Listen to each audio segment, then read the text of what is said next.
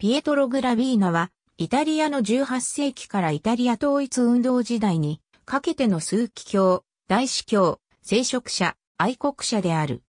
枢機卿でありながら、イタリア統一運動の初期にあたるシチリア革命で、革命政府の初代総裁を短期間ながら務めた。ピエトロ・グラビーナとも。ピエトロ・グラビーナは1749年12月16日、シチリア王国のモンテバーゴの貴族の家に生まれた。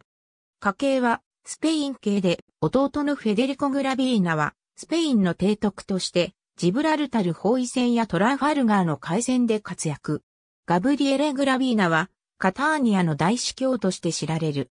聖職者を育成するローマのクレメンティーノ大学を1769年に卒業後、サピエンツァ大学では法学を学び卒業後は弁護士の下で働いた。1778年9月7日にはパレルモで聖職者に任ぜられる。1783年にはチッタディカステッド、1785年にはファーノ、1789年にはイエージの知事を務めるなど着実にキャリアを積み重ねていき、1792年には司祭に任命される。司祭になった直後は1793年1月25日から1794年3月7日まで、教皇国家の大都市アンコーナの知事を務めた。1794年9月12日、二階ア大司教区の大司教に選出された。しかし当時は、ナポレオン・ボナパルトがフランスで台頭しており、フランス軍の侵略を危惧したグラビーナは後に、レオ12世としてローマ教皇となるアンニーバレ・セルマッテーデ・ラジェンガなど、共にコンスタンツ、ついでハプスブルク家が治めるミュンヘンなどに避難した。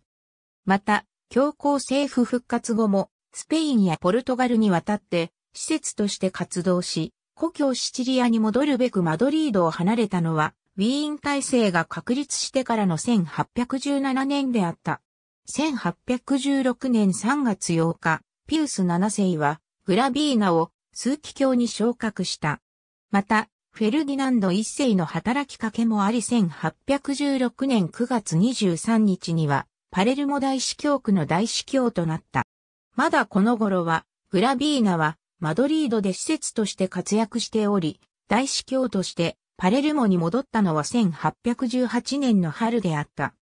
グラビーナが万人をかくまったパレルモ大司教宮殿1816年ウィーン体制の確立とともにシチリア島とイタリア南部を合わせた両シチリア王国が建国され、シチリア島はナポリの文化や社会制度を押し付けられただけでなく1812年、シチリア憲法も廃止に追い込まれた。このことから、シチリア島では常に分離独立と立憲革命への火種がくすぶっており、グラビーナがパレルモ大司教区の大司教に着任した頃には、その動きはピークに達しようとしていた。